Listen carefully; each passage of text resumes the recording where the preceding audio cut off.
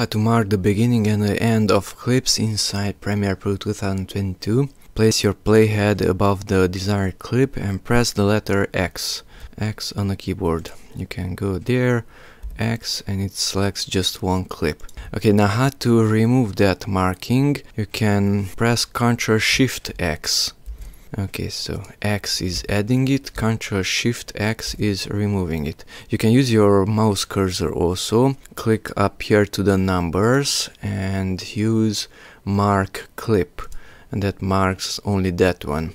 Right click on that marked area, clear in and out and that deletes that marking.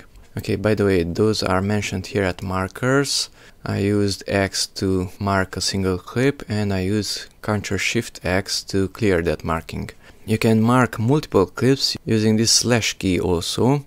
So first of all, make sure this one is selected, selection tool. Select, let's say, two or three clips and press slash on the keyboard. And now those three clips were selected. Ctrl Shift X and it's gone.